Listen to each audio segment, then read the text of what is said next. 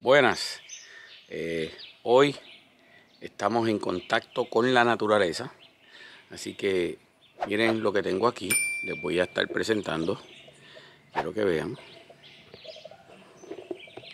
miren ahí, ahí tengo una, dos, tres, cuatro árboles de cacao, arbolito, esos cuatro arbolitos me los regalaron. Así que agradezco a la persona que me los regaló. Eh, vamos a estar sembrándolos en el día de hoy. Así que vamos a ver cómo vamos con este experimento. Bueno, estoy aquí en la finca. Como pueden ver, este es el patio de la casa. Ya tengo el primer, el primer hoyo. Tuve que tarar toda esta área.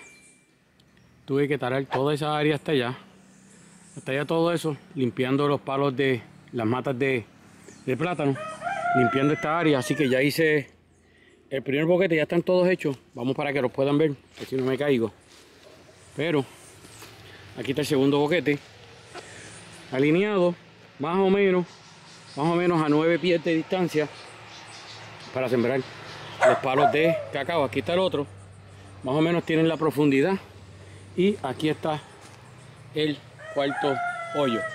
Así que ahí tenemos, todo eso lo talé hoy, todo eso. Ya está a punto de llover, así que estoy ya contra el reloj.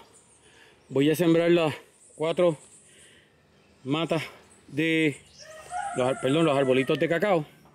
Tan pronto estén cada uno en su hoyo, regreso con ustedes.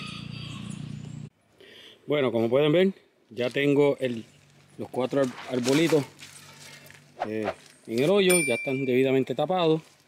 Así que por ahí debe llover ya mismo. Está haciendo aguaje. Miren qué lindo llevo la finca para allá abajo limpiecita. Y pronto voy a sacar otro video por ahí. Ya voy bastante abajo, la llevo bastante limpia. Así que hasta aquí estamos, contacto con la naturaleza, sembrando árboles de cacao, manteniendo el patio. Así que, nada, Allá tenemos parte de la casa que la estoy pintando, así que la estoy haciendo yo mismo. Ya vamos por el alero, pronto haremos los andamios para pintar toda esa parte de atrás. Culminar las paredes que faltan por empañetar, pero ahí le vamos poco a poco. Haciendo de todo un poco, entreteniéndonos en tiempos de pandemia. Mi gente, esto es lo que usted tiene que hacer. Practicar el cultivo en su casa. Se va, va a disfrutar. Ahí está el otro árbol de cacao. Ahí está el que le acabamos de pasar por el lado. Voy a continuar aquí. Y aquí está el último. Ahí los tengo parte en la sombra, parte en el sol, porque aquellos van a estar como que ese mitad y mitad, parte sombra, parte sol. El árbol de cacao es un árbol que es de la, de la sombra, más bien, pero pues yo he decidido eh, utilizarlo usando parte y parte, mitad sombra y mitad sol. Así que van a estar aquí parte en la sombra, parte en el sol. Como pueden ver, miren, miren el outfit. El outfit ha mejorado, tenemos botas ya.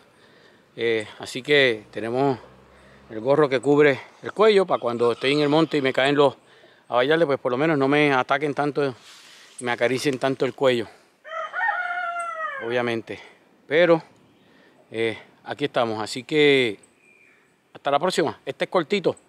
Eh, recuerda, el árbol de cacao lo sembré a 9 pies de distancia más o menos cada uno.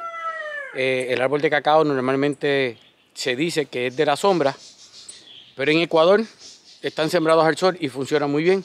Así que yo hice aquí como que un mitad y mitad en la guardarraya, alejándolos más o menos a 5 pies de la guardarraya para tenerlo aquí cerca de la casa. Comencé con cuatro, tengo unas vainas que ya estoy, que ya sembré, otras que estoy secando, así que pronto estaré haciendo el proceso de cómo se elabora el chocolate con cacao. Así que mi gente, recuerda hacer de mañana un día mejor que el de hoy. Nos vemos.